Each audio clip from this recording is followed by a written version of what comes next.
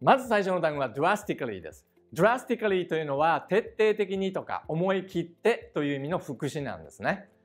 語源はドラスティというのが行動を表しましてそれの副詞形ですから行動的にというのがまあ語源ということになります。何か行動に移す時っていうのは思い切らないとできませんよね。ですので行動的にという語源から思い切ってとか徹底的にという意味につながるということなんですね。あの好きな子に告白する時とかそうですよね。行動に移すの結構思い切らないと無理ですよね。振られたらどうしようみたいなね。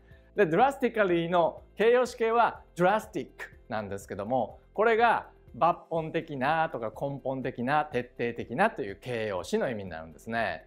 take drastic measures って言ったら抜本的な対策を講じるという意味なんですね。drastically は副詞、drastic は形容詞。一緒に覚えていきましょう。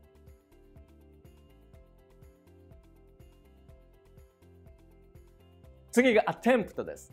attempt というのは名詞で試みという意味なんですけれども、tempt の部分が試みるという意味を語源に持つんですね。そして前の at の部分、at の部分は何々をという意味が語源ですから、何々を試みるというところから、まあ、試みという名詞が出てきたりだとか、動詞でも attempt 使うんですね。例えば attempt to 不定詞であれば不定詞することを試みるという意味になります。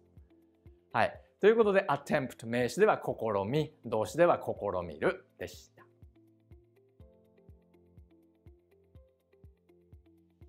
次は get rid of です。get rid of というのはもう非常に有名な熟語でして何を取り除くという意味なんですね。これはもう品質の表現ですから必ず覚えるようにしましょう。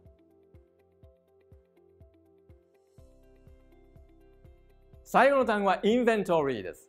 inventory というのは在庫品という名詞なんですね。語源は invent の部分が偶然見つけるという意味でして ori の部分がものですから偶然見つけたものというところから在庫品という意味につながってるんですね。invent という動詞がありますけどもそれは発明するという動詞ですよね。あれも偶然見つけてる感じですよね。なんかいろいろ試してるうちにあいけたという感じで発明が起こりますよね。ですのでインベント偶然見つけるという語源から発明するという意味が出てきてるんですね。はい。ということで、インベントリー、在庫品でした。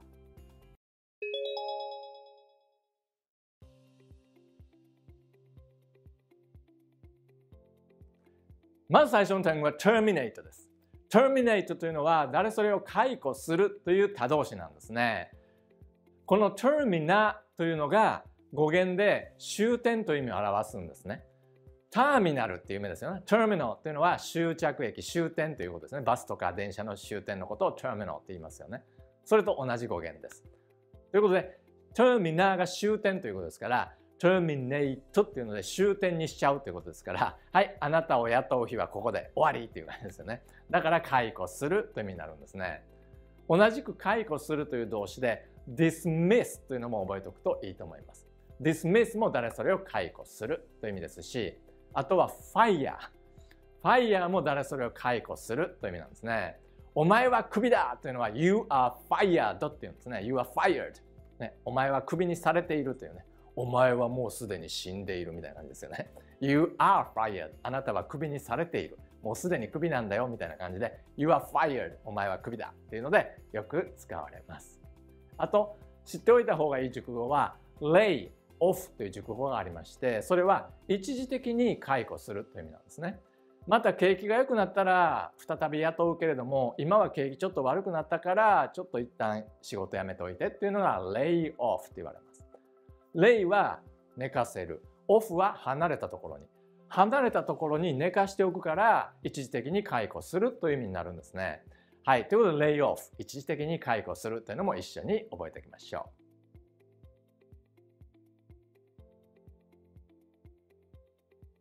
次の単語 close です。close というのは皆さんご存知の意味では閉める閉じるというのは close ですけどもこの場合は取引を close するというのはまとめる成立させるという意味なんですね。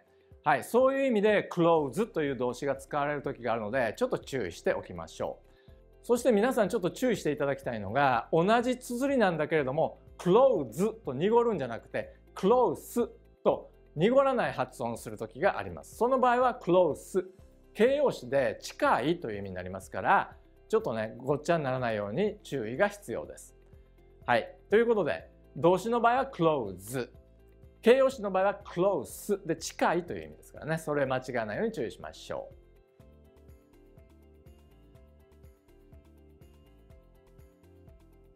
次の単語は lucrative です。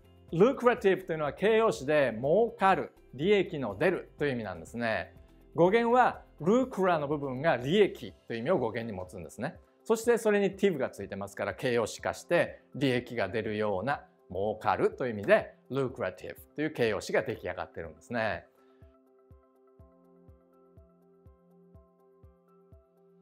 最後に deal です。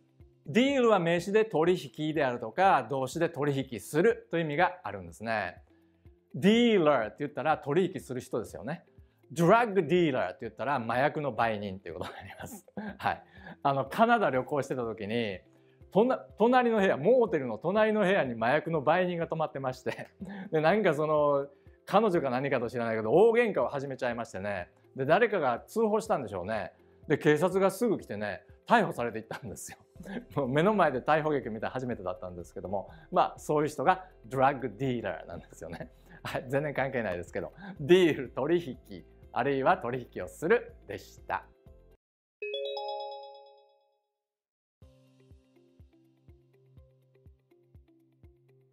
まず最初の単語は arduous です。ちょっとこれ難しい単語ですけども arduous というのは形容詞で困難なとか努力を要するという意味なんですね。簡単な単語で言うと difficult、ね、困難なという意味になるでしょうしあと challenging という単語も覚えておくといいと思います。Challenging というのも挑戦しないと成し遂げられないようなというところから困難なという意味が出てくるんですね。あと painstaking という言葉もあります。これ骨の折れるようなという意味なんですね。その take pains という熟語から来てるんですね。take pains で苦労する。それが逆になって ing がついて苦労するような大変なということになるんですね。はい、ということでそういう努力を要する困難なという意味いろいろありますから一緒にこの際セットで覚えちゃいましょう。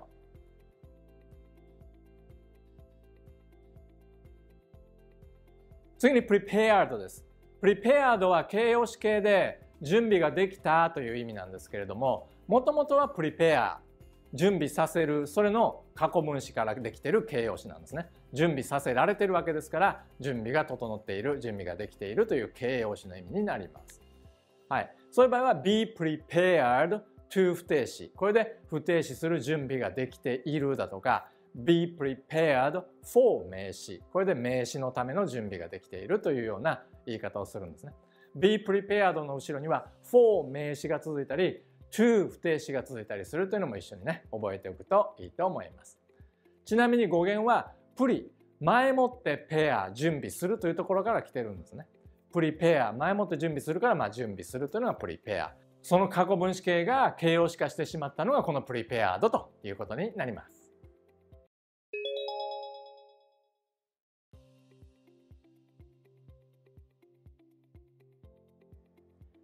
まず最初の単語は attendee です。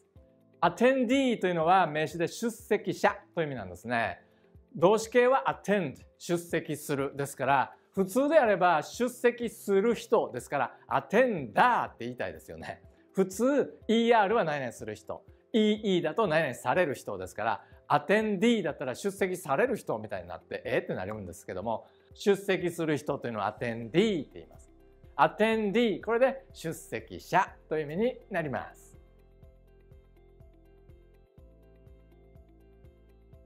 次がコーディングです。コーディングというのはコードの ing 形なんですけども、コードというのはプログラムのコードを書くという意味なんですね。ですので、それの ing 形ですから、コーディング、プログラミングのコードを書くことという意味になります。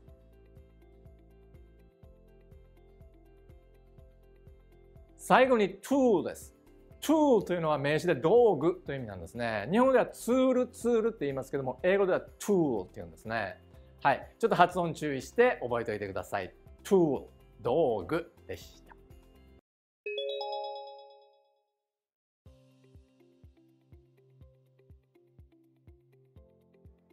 まず最初の単語は popular です。popular というのは形容詞で人気のあるという意味なんですけども、名詞形は popularity 人気ということになります。語源は popular の部分が国民とか人々という意味なんですね。ですので population という単語もあったりしますよね。population 人口という意味ですけども、その人の口とかこの人口ね。人口が何人だというそういう人口というのは population と言いますけども、それと語源は同じです。はい。ということで、popular って言ったら人々の間で人気がありますよね。だから popul 国民人々という部分を語源に持つ単語ということになります。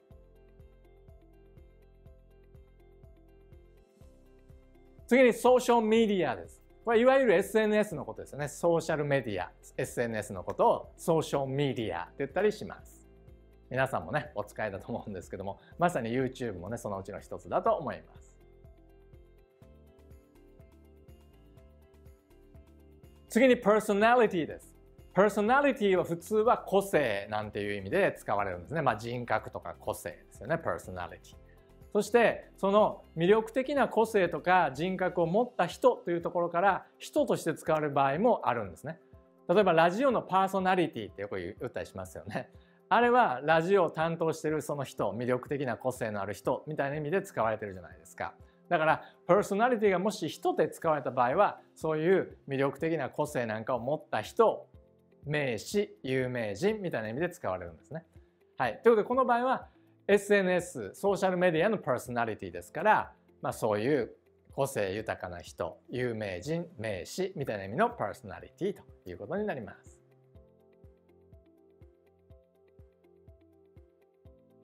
次に earn です。earn というのは稼ぐという意味の動詞なんですね。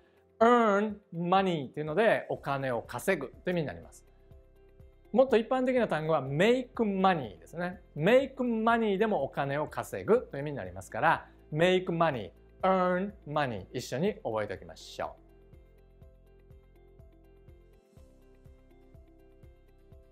最後に item です。item というのは項目とか品目とか品物という意味で使われるんですね。よく服屋さんにいた時に冬用のアイテムありますか？みたいにね聞いたりすることがあったりすると思うんですけどもそれですよねアイテム。この場合は selling items ですから品物を売るというふうになるんですね。はいということで品物品目という意味のアイテムでした。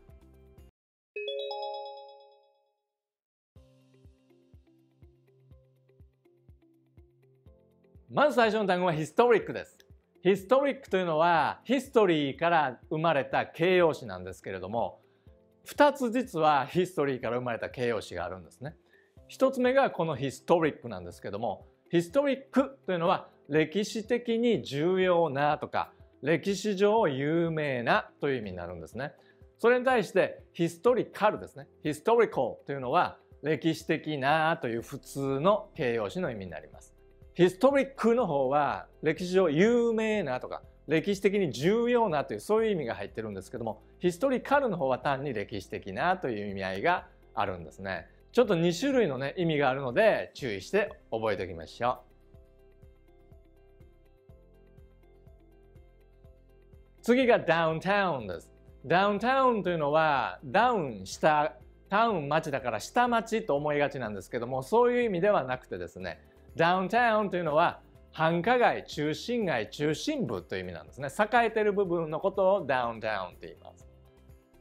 ダウンタウンロサンゼルスって言ったらロスのビルがいっぱい立ち並んでる繁華街中心部のことなんですね、まあ、そういうイメージで思っておいていただければいいかなというふうに思います。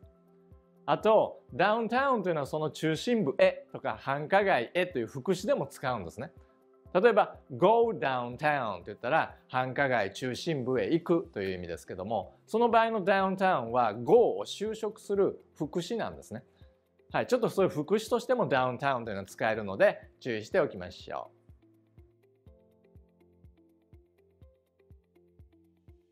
次に development です。development というのは develop という動詞からできた名詞なんですけども発展とか開発とか意味がありますよね。ただここでは開発された住宅地という意味で使われてるんですね。ちょっとそういう開発されたもの開発されたその住宅地とかねそういう住宅団地みたいな、まあ、そういう意味でこの場合に development は使われています。最後に high-rise です。 high-rise というのは高層建築物という意味なんですね。高く登ってるわけですからね。だから高層建築物という意味になるんですね。で、high rise building というような言い方もありまして、その場合は high と rise の間にだいたいハイフンが入って一つでね、一つの単語としてま書かれますけども、high rise buildings って言ったら高層ビルという意味で、この high rise は形容詞的に使われてるんですね。まあそんな風にハイフンが間に入って形容詞的に使われたり、ハイフンがなしで名詞で使われたりするのが high rise です。この場合は high と rise の間にハイフンがないパターンで高層建築物という意味なんですけどもあとスカイスクレーパーという言葉もありますよね。スカイ空をスクレープ救うような ER でもの空を救うようなものですから超高層ビルっていうね意味でスカイスクレーパーっていう単語もあります。ニューヨークなんか行くとねもうすごい高いビルが建ってますからそういうのはもう空を救うぐらい高いもんですよね。ですので超高層ビルなんていうのはスカイスクレーパーという単語を使ったりします。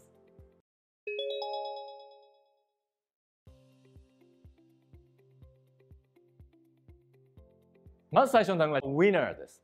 winner というのは勝者という意味なんですね。動詞形が win 勝つですからそれに er がついて、まあ、n が重なって er がつきますけども er がつくので勝つ人つまり勝者という意味になるんですね。でちょっと win 注意していただきたいんですが win は勝つは勝つでも勝ち取るということです。ですので他動詞で使われた場合はその目的語に対戦している相手ではなくて勝ち取るようなものが来ないとダメなんですね。ですので win the giants みたいなね言い方はできません。ジャイアンツを勝ち取ることになっちゃいますからね。そしたら例えば阪神対巨人戦で阪神が勝ったら巨人がもらえるみたいになっちゃいますからそういう対戦相手の場合は win という動詞の後ろに置けないんですね。そういう場合は beat やっつけるというね beat という単語を使います。これで beat the giants でジャイアンツに勝つジャイアンツをやっつけるという感じですね。そういうふうに beat という動詞を使います。win は使います。で逆に win の後ろには例えば win the game とかねその試合を勝ち取るわけですよね。だから試合というのが後ろに来たり The Nobel Prize ノーベル賞も勝ち取りますよね。そういう賞が来たりもします。はい。ということで win の後ろは勝ち取るものそして beat の後ろは対戦相手というふうに覚えておくといいです。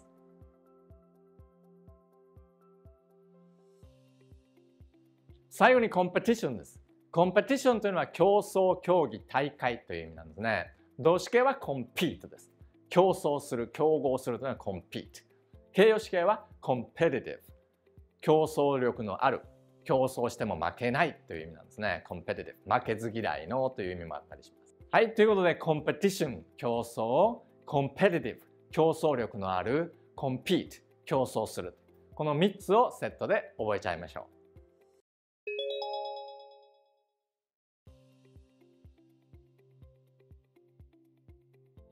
まず最初の単語は file です。この file というのは動詞で使われていまして、書類なんかを整理して保管しておく、整理して保存しておくという意味なんですね。あの、ファイリングするって日本語でも言いますよね。ファイルに入れたりしてきれいに取っておくことを file という動詞で表すんですね。はい。ということで、ファイルを整理して保存しておく、整理して保管しておくという意味でした。次は tax です。Tax というのは税金という意味ですよね。まあ非常に嫌なものですよね。tax。で、tax free とかいう言い方するときあります。その場合は税金がフリー、自由ということじゃなくて、このフリーというのがどういう意味かというと、何々を含まないという意味があるんですね。ですので、tax free といったら税金を含んでないという意味になります。ね、海外の、ね、旅行行ったりしたら、そこに住んでるわけじゃないので、物を買うときに税金が免除されたりしますよね。そういう場合に tax free とか言ったりしますし、あと duty free なんかもよく言いますよね。duty というのは関税という意味ですから、duty free というのは関税を含まない。duty free shop と言ったりしますよね。免税店のことは duty free shop と言います。関税を含まない値段で売ってるお店だからですよね。はい。あと例えばそうですね、オイルフリーとかね、いう化粧品とかでもよく言ってますけども、ああいうのは油分を含まないということですよね。オイルフリー。シュガーフリーだったら砂糖を含んでませんという意味になったりしますし、まあ、そんな風になんとかなんとか free というのは何々を含まないという意味で使われるんですよというのもこの際一緒に覚えておきましょう。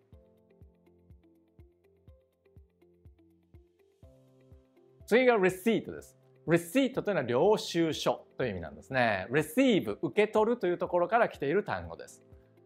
レシートも結局受け取ったという証となる書類ですよね。あなたから例えば10ドルもらいましたよって言ったら10ドルの領収書を切って渡すみたいな感じですから receive 受け取ったというところから来てるんですね。receive 受け取るというところからまあ来ています。はい。あとよくお店に行ったらですね、receipt in the bag こう聞かれるんですね。あなんて言ったって感じですけども、receipt in the bag これは袋の中にもレシート入れときましょうかっていうことなんですね。receipt in the bag って聞いてるんですね。ただ、店員さん早口ですから、receipt in the bag receipt in the bag みたいに聞かれます。はい。でもこれ一回ね、聞いとけば、あ、さっき receipt in the bag って言われたなって分かりやすいですから、ここで一回聞いておくと、海外で旅行して買い物した時も困らないと思います。最後にストアです。ストアというのはお店という意味もありますけども、この場合動詞で使われているストアなんですね。動詞でストアが使われた場合、取っておくとか蓄えておく貯蔵しておく保管しておくという意味があるんですね。はい、ちょっとそういうストアの動詞の意味今回覚えておきましょう。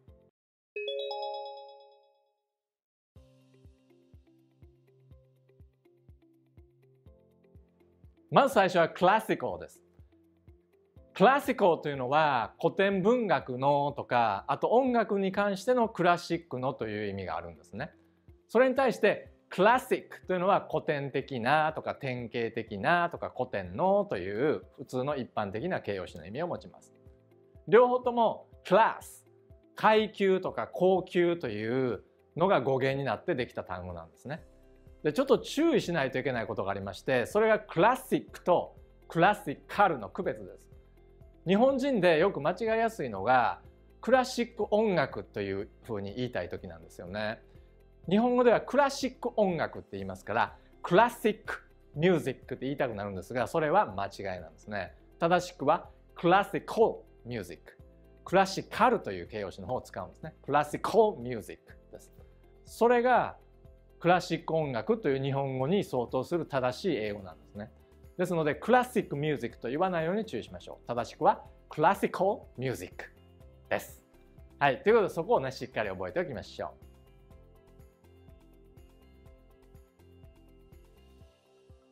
次にピアニストです。ピアニストはピアニストで、まあ、意味は皆さんね分かると思うんですがアクセントがちょっと注意ですよね。日本語ではピアニストピアニストって言いますけども英語ではイストの前にアクセントがありますからピアニストですしギタリストですしバイオリニストなんですね。はい、バイオリニストじゃなくてバイオリニストなのでちょっとね注意が必要です。はい、そんな風にピアニスト、ギタリスト、バイオリニストその辺のアクセントをねちょっと注意して読んだり聞き取ったりするようにしましょう。次の単語は typically です。typically は副詞で典型的にとか一般的にという意味なんですね。名詞形は type です。典型という名詞から来ています。type 典型という意味の名詞の形容詞形は typical これが典型的なという形容詞です。それにさらに ly がついて typically 典型的に一般的にという副詞になってるんですね。はい。ということで type 名詞で典型 typical 形容詞で典型的なそして typically 副詞で典型的に一般的にというこの3つをセットで覚えちゃいましょう。